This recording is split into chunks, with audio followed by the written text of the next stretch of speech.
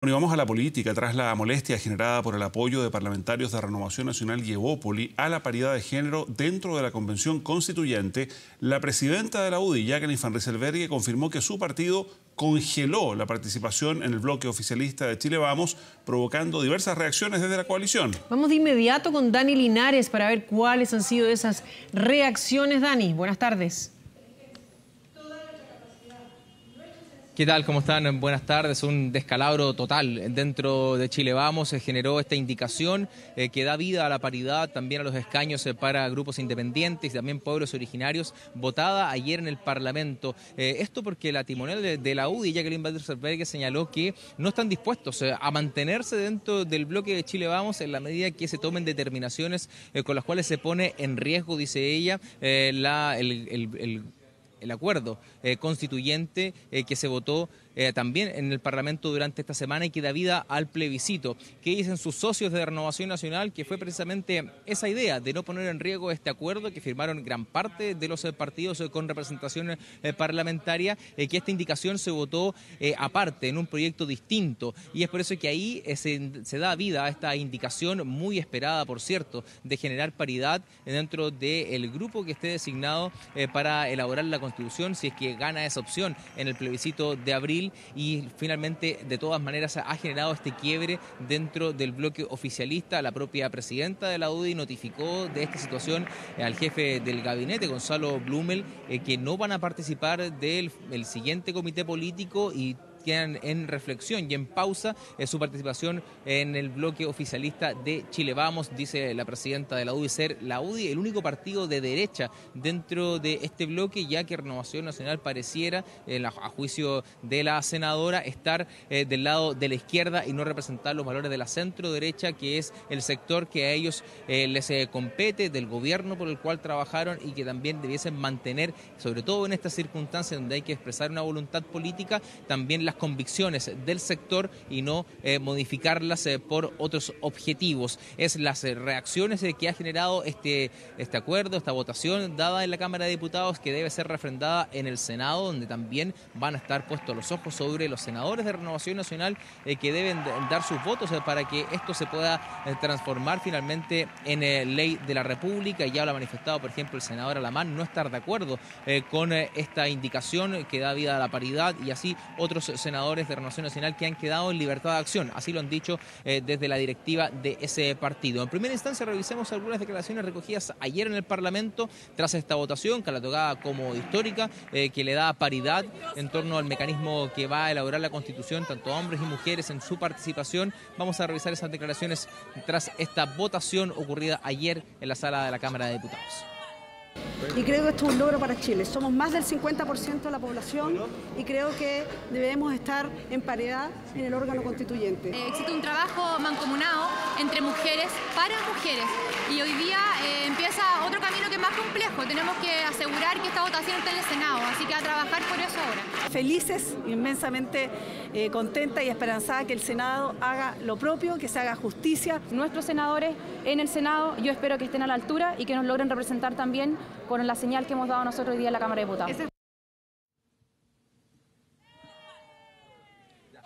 Bien, y ahora revisamos eh, la reacción que tuvo la presidenta de la UDI y esta situación que comentábamos, eh, su congelamiento ¿no? dentro de la participación de Chile Vamos por parte de la Unión Democrática Independiente y que ha generado esta votación, dicen ellos que se ha puesto en riesgo eh, por parte de sus socios de la coalición el acuerdo constituyente que da vida al plebiscito que ya fue aprobado y despachado por el Parlamento. sin embargo, al ingresar indicaciones que no estaban en el acuerdo original, dice la senadora, se pone en riesgo esta situación lo que ha, generado esta molestia profunda, eh, al parecer, dentro de la UDI, que ha sido manifestado eh, al Ejecutivo, al eh, ministro del Interior, Gonzalo Blumel, y que ha solicitado la intermediación del gobierno en medio de estos dos partidos. Dicen ellos lo van a hacer en reserva, no por la prensa, porque no es costumbre, al menos de la UDI, realizar este tipo de situaciones y pautear al gobierno en algún sentido. Vamos a revisar las declaraciones de la timonel de la UDI, la senadora Jacqueline Van Rieselberg. No tenemos por qué avalar que, se sigan defendiendo ideas con las cuales nosotros no estamos de acuerdo y avalando con nuestra presencia y nuestra y, nuestra, y nuestros votos aquellas cosas que cedemos entendiendo de que estábamos en un clima en donde todos cedíamos un poco. Pero cuando eso no se da, la verdad es que lo, que lo menos que uno puede hacer es conversarlo internamente y evaluar qué es lo que vamos a hacer para adelante. Hubo respuesta durante esta jornada desde Renovación Nacional, donde su presidente Mario Desbordes intentó desdramatizar esta situación, bajar un poco el tono y no enfrascarse en una discusión eh, con eh, la presidenta de la UDI, ya que dicen ellos desde su partido no están poniendo en riesgo la coalición de Chile Vamos y esperan que la UDI recapacite y vuelva a sumarse al bloque oficialista, eh, ya que esta indicación no solamente fue apoyada por diputados de Renovación Nacional, sino que también hay votos de diputados de la UDI comprometidos en la aprobación eh, que dio el inicio a este distanciamiento entre ambos bloques. Eh, el eh, análisis que hacen de Renovación Nacional es que la UDI tiene un problema respecto a lo que ocurre más a la derecha, con bloques mucho más conservadores, que es el bloque liderado por José Antonio Cast, que le estaría quitando adherentes a la UDI y es por eso que realiza este tipo de conflictos artificiales, como lo ha calificado el presidente de Renovación Nacional, Mario Desbordes, a quien escuchamos a continuación ha creado un conflicto artificial. Yo entiendo que la UDI necesita generar ciertas cosas, tensionar un poco para competir con quienes ellos sienten que, les está complicando un poco, que es José Antonio Cast. Pero eso no puede significar que tensionen la coalición completa. Yo lo lamento, yo no voy a entrar en un conflicto con la UDI. No voy a permitir que se use renovación nacional para eh, la complicación que tiene un partido aliado con lo que, lo que ocurre más a la derecha todavía.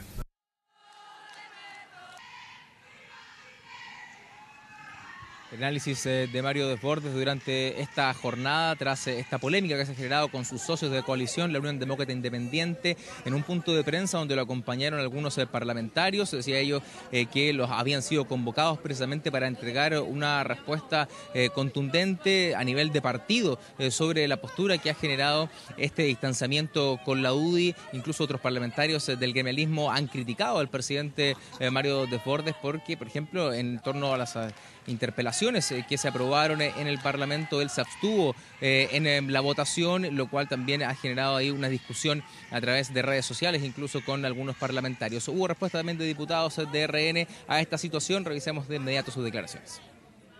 Cuando uno tiene un modelo social al cual, al cual uno se juega la vida por llegar a construirlo. Las cosas se construyen trabajando, dialogando y compitiendo, y no a través de mensajes y presiones. Esta discusión que hoy día nos inquieta va a ser en poco tiempo más historia y todos, todos, estoy segura que las bases de la UDI están absolutamente de acuerdo también con que sean las mujeres y los hombres en igualdad de condiciones y en cantidad también de proporción, sean los que construyan y escriban esta nueva constitución que nos va a acompañar por muchos, muchísimos años. Lo que tenemos que cuidar es Chile Vamos. No puede ser que una presidenta de partido, por el solo hecho de que un socio de esta coalición haya votado diferente a ellos en un solo inciso, amenace con destruir una coalición. Eso simplemente no es democrático.